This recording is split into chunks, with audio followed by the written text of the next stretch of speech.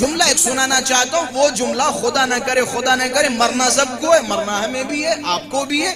خدا نہ کرے وہ جملہ جو ہم مرنے کے بعد کہیں، خدا را، آج سن لیں اور سمجھ لیں اور ایسا کچھ کرے جو کل ہمیں یہ جملہ قبر میں کہنا نہ پڑے۔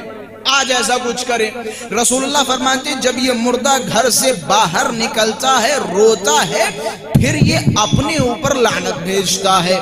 اور کہتا ہے، وائے ہو مجھ پر، لعنت ہو مجھ پر۔ یہ کون کہتا ہے؟ وہ مردہ جو آپ کے گھر پہ آتا ہے اور خالی ہاتھ جاتا ہے، چوکھٹ پہ بیٹھتا ہے۔ اور بیٹھنے کے بعد کہتا ہے، لعنت ہو مجھ پر۔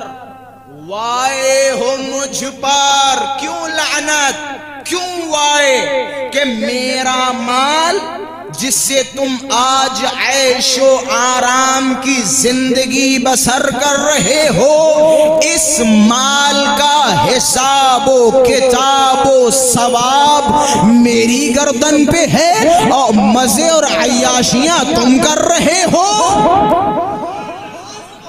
حساب و کتاب، حساب و کتاب، عذاب و ثواب میری گردن پہ ہے۔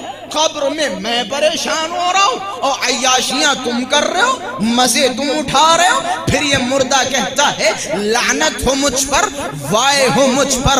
کاش وہ مال و دولت میں نے کہا تھا نا، ایسا نہ ہو کہ یہ جملہ ہمیں کہنا پڑے۔ خدا را، آج اس جملے کو سمجھیں۔ مردہ کہتا ہے، لعنت ہو مجھ پر، وائے مجھ پر وہ مال و دولت جو خدا نے ہمیں عطا کیا تھا۔